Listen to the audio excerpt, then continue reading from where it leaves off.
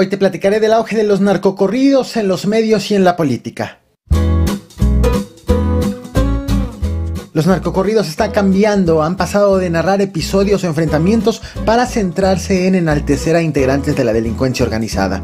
Ha cambiado también la exposición de los mismos. Ahora es posible verlos y escucharlos en programas de televisión de talla continental, en eventos públicos organizados por las autoridades y hasta a bordo de patrullas. En este video te platicaré de la proliferación de los narcocorridos y del encanto que están teniendo en la clase política y gobernante. Bienvenidos al Caporal del 25 de febrero. Comenzamos.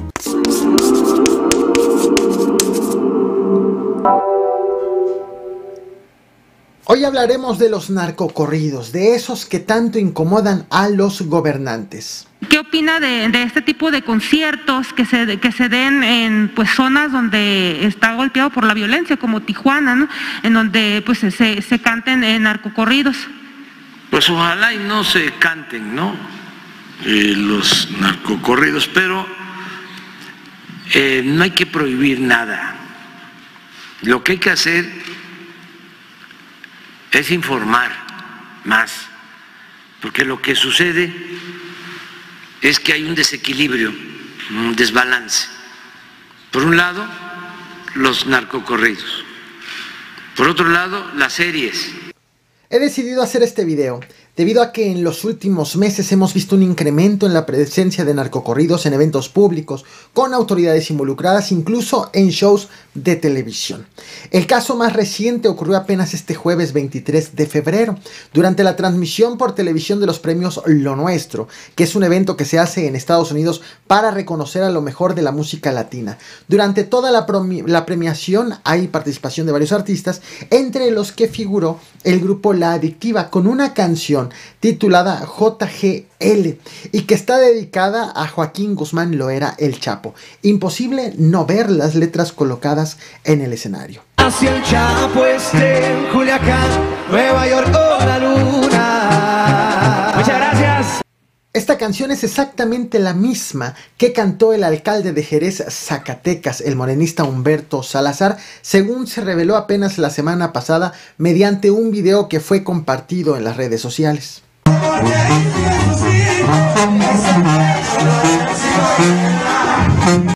¿Qué es lo que dice la canción? Te leo unas estrofas. Dice, se le extraña demasiado al general en la capital del corrido. La capital es Culiacán y no está sola porque aquí siguen sus hijos. Es el jefe, lo es y lo era. Gira y separa la tierra si Joaquín lo ordena.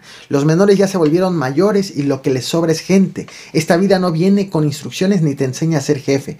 Uno es bravo y el otro es más. Son dos hermanos. Uno es Alfredo y el otro es Iván. Del Culiacanazo no les hablaremos porque no está permitido. Ese día no lo pintaron de rojo porque soltaron al hijo.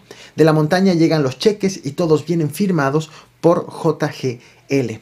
Esto fue lo que se presentó en, en, un premio a la música latina, en un evento hecho en Estados Unidos. Y esto fue lo que cantó también el alcalde zacatecano, quien por cierto quiso justificar el edil asegurando que pues tal vez lo captaron eh, cantando, que fue en una fiesta, pero que él no se sabe la letra. Nada más lejos de la realidad. La grabación se difunde, que se difunde es de un año, en una convivencia que tuvimos con nuestros queridos paisanos de la comunidad de Tetilla. La tambora sonaba, me gusta la música, pero no me sé las canciones, las desconozco. Mi vida como médico siempre ha sido transparente. Me duele darme cuenta de la pudredumbre de algunos que se llaman políticos de carrera, esos que orquestan las campañas negras, quienes se aprovechan de un puesto y de la gente. Otro hecho noticioso reciente es el de la puertorriqueña Mariel Colón. ¿La recuerdas? Su abogada Mariel Colón visitó al Chapo y aseguró en entrevista para Telemundo Mariel Colón saltó al ojo público por ser la abogada del Chapo Guzmán en el juicio que le realizaron en Estados Unidos. Bueno, esta semana la puertorriqueña anunció su incursión en la música regional mexicana con una canción titulada como La Abogada y ya adelantó que no descarta lanzar una canción dedicada a Joaquín Guzmán Loera. Buenos días, señor juez, la palabra. Hoy yo vengo a defender un corazón El caso de los narcocorridos desata un debate sobre los límites de la libertad de expresión y la apología del delito. Los artistas, creadores e integrantes de la industria se amparan bajo el derecho a la libertad de expresión, mientras que los gobernantes principalmente apelan más a la apología del delito. Sin embargo, suele convertirse en escándalo cuando los que suelen estar en un lado de la moneda aparecen en el otro lado de la moneda. Por ejemplo, el caso del alcalde de Jerez cantando un narcocorrido, o como el de la policía de Tanhuato, Michoacán, cuando en marzo del 2021 fueron exhibidas algunas de sus patrullas siendo usadas para fiestas, arrancones y para subir a personas armadas en la batea mientras escuchaban narcocorridos.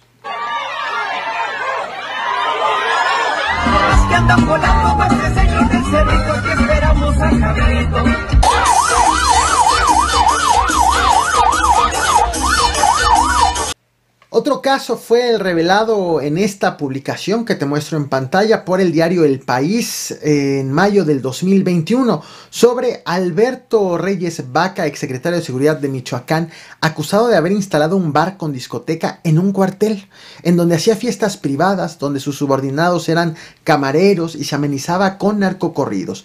Este caso fue eh, investigado por la Contraloría y determinó que las faltas no eran graves por lo que no le fue iniciada una averiguación penal.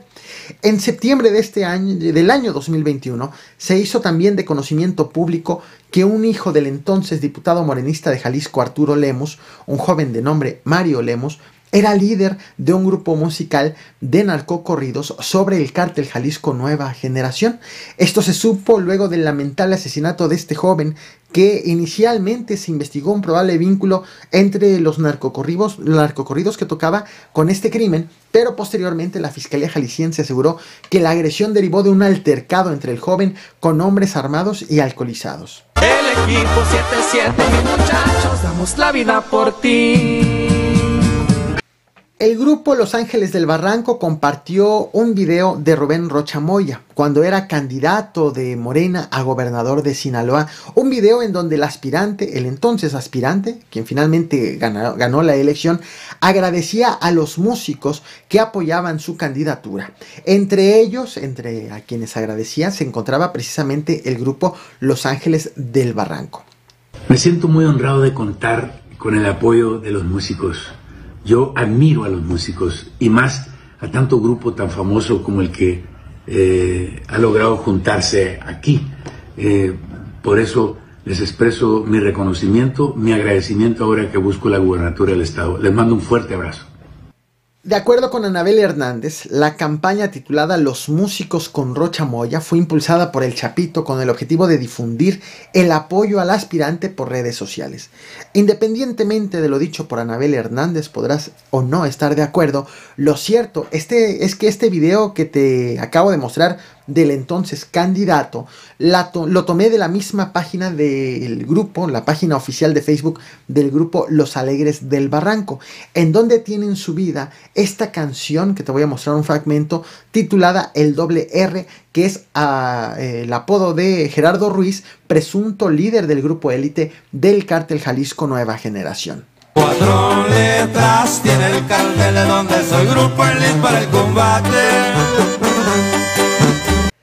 Un caso más fue la inauguración de la más reciente, del más reciente carnaval de Mazatlán en el estado de Sinaloa. El 16 de febrero, el cantante Eden Muñoz arrancó su participación con la canción Javier el de los Llanos, una canción original de calibre 50 cuando Eden Muñoz formaba parte de ese grupo y que fue dedicada a Javier Torres Félix, alias el JT, actualmente recluido en el penal del Altiplano, acusado de ser un cabecilla del cártel de Sinaloa y condenado por tráfico de drogas y enriquecimiento ilícito.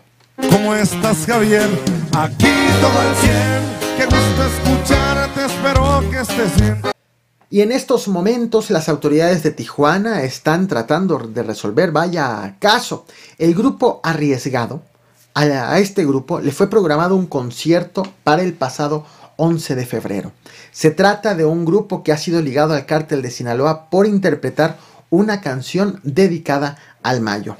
de ranchero, porque así mero fue criado entre monticeros es un hombre de a caballo, de lado el sombrero, porque 100% mayo. Un día antes de su presentación, fueron detonadas armas de fuego durante la firma de autógrafos en una plaza en Tijuana, además de que aparecieron narcomantas y fue atacada la fachada de la empresa de comunicación que llevó al grupo a Tijuana. Uno de los elementos, una de las personas detenidas por las detonaciones en la plaza, aseguró que él y otros cómplices fueron, fueron enviados a Tijuana con el objetivo de impedir precisamente la realización de ese concierto y que fueron enviados por un presunto yerno de Nemesio Oseguera, alias el Mencho, líder del cártel Jalisco Nueva Generación. Resulta que tras los balazos en la plaza, un elemento de la Fiscalía del Estado de Baja California escoltó al grupo a la salida del inmueble. Lo hizo por iniciativa propia, sin autorización y en horario laboral. En su defensa, el agente aseguró que actúa porque recibió dos llamadas pidiéndoles el apoyo para hacer esto, una de un productor musical y otra del regidor de Tijuana, Alex Cabrera Acosta. Días después, este escolta fue herido en un ataque a tiros en Tijuana. Actualmente las, las indagatorias en torno a este gran caso continúan. Desde el hecho de las amenazas al grupo delictivo hasta la participación de la gente y la posible relación que pudiera existir entre el apoyo de la gente y la agresión cometida en su contra. Esto fue lo que dijo la Fiscalía del Estado de Baja California apenas el pasado 22 de febrero sobre este caso que aún sigue bajo investigación. ¿Qué opinas de este gran fenómeno? Los muy lejos han quedado ya los Tigres del Norte, los Tucanes de Tijuana y músicos de hace ya varios años, incluso décadas. Te muestro el clip de la Fiscalía de Baja California. No olvides reventar el botón de like, compartir y suscribirte. Muchas gracias. En el primero de los casos que ocupa a eh, información que se ventiló eh, del dominio público con respecto de que algún elemento de la agencia de investigación estuviese participando en alguna comisión eh, institucional para brindarle seguridad a alguna persona que presumiblemente, de acuerdo a la información que se ha ventilado, eh, pudiera ser alguien con presuntos, eh, o bueno, con presunta reputación medianamente cuestionable en ese sentido. podemos decirles que la institución no dispuso de ningún recurso para comisionar, ni para designar, ni para instruir a ningún elemento de la institución para que llevará a cabo labores de seguridad de forma particular en contra de ninguna persona eh, dedicada, en este caso, al ámbito artístico, ni tampoco a ninguna persona que tenga antecedentes de carácter criminal por alguna conducta que pudiera acreditarse con evidencia, más allá de lo que se pudiera eh, estilar con respecto de la opinión personal que pudiera tener cualquier ciudadano, la cual respetamos, eh, por supuesto.